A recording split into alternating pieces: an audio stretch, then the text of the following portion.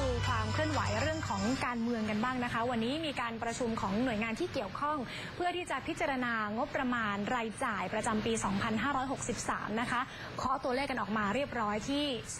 3.2 ล้านล้านบาทนะคะ ก็เดี๋ยวจะนำเข้าสู่การพิจารณาของที่ประชุมครมในสัปดาห์ถัดไปนี้แล้วนะคะและแน่นอนนะครับก็มีการคาดการณ์กันนะครับว่าเรื่องของการพิจารณางบประมาณรายจ่ายประจำปี 2563 เนี่ยค่ะจะเข้าสู่ที่ประชุมสภาอืมวันที่ 18 ตุลาคมนี้อ่าแต่มีความเห็นจากพรรคเพื่อไทยนะเขาบอกว่าเนี่ยมันช้าเกินไปมันไม่ทันปิดสมัยประชุมสภา ใช่ สะท้อนว่าโอ้โหรัฐบาลทำงานช้าตั้งรัฐบาลก็ช้า แล้วพรรคร่วมก็เป็นอย่างนี้ยแหละประสานงานช้านะคะอะเป็นความเห็นจากพรรคเพื่อไทยแบบนี้ มาดูการประชุมวันนี้กันก่อนนะคะพลเอกประยุทธ์จันทร์โอชาวันนี้เป็นประธานการประชุมค่ะ พิจารณากำหนดวงเงินงบประมาณรายจ่าย ประจำปีงบประมาณ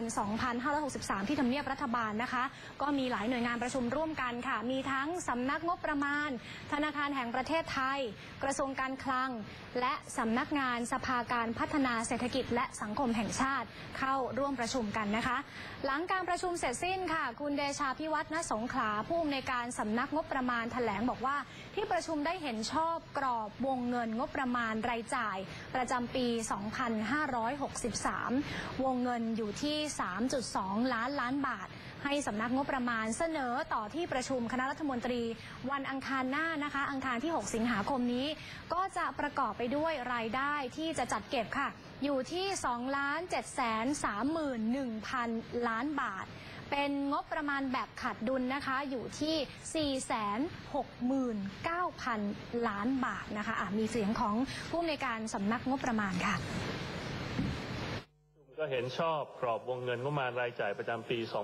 2563 นะฮะ ให้สำนักงานเสนอคณะมนตรีในวันที่ 6 สิงหานี้นะครับ งบประมาณรายจ่ายจะอยู่ที่ 3.2 ล้านล้านบาทนะครับ ประกอบด้วยนะครับรายได้ที่จะจัดเก็บได้เนี่ยเดิมทีเนี่ยนะครับประมาณการไว้ว่า 2.75 ล้านล้านนะครับ ก็จะคงเหลือที่ 2. สามหนึ่งล้านล้านบาท หรือลดลงไปหมื่นเก้า ล้านล้านบาทนะครับจากเดิมที่เคยเสนอครมเมื่อตอนต้นปี ส่วนปฏิทินงบประมาณปี 2563 นะครับ หลังจากเรื่องนี้เสนอเข้าสู่ที่ประชุมครมในสัปดาห์หน้า ก็คือวันอังคารที่ 6 สิงหาคมนี้แล้ว ก็จะมี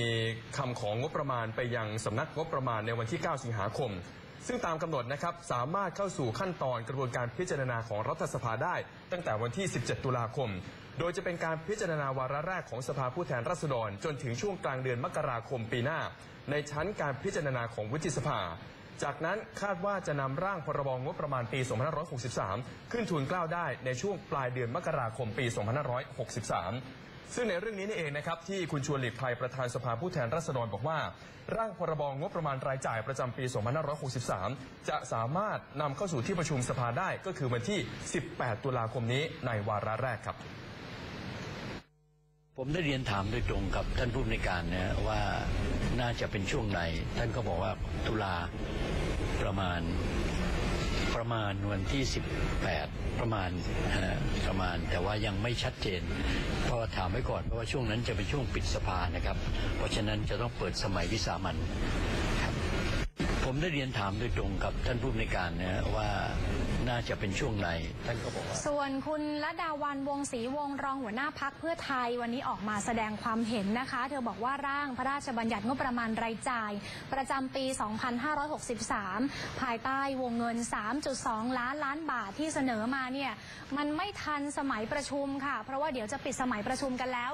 22 กันยายนนี้นะคะ กว่าจะเข้าสภาได้ก็เรื่องนี้ต้อง 18 ตุลาคม เพราะฉะนั้นก็ไม่ทัน เนื่องจากว่ามาจากการทำงานที่ไร้ประสิทธิภาพของรัฐบาลผสม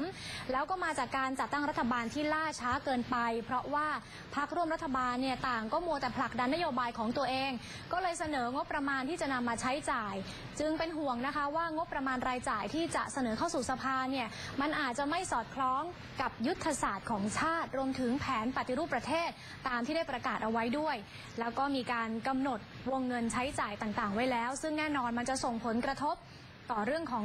เออการเมืองนะคะ แล้วก็การเงินการคลังของประเทศด้วย ซึ่งพรรคเพื่อไทยก็บอกว่าเขาจะจับตามอง แล้วก็จะควบคุมการบริหารงานของรัฐบาล ให้เกิดประโยชน์อย่างแท้จริงค่ะ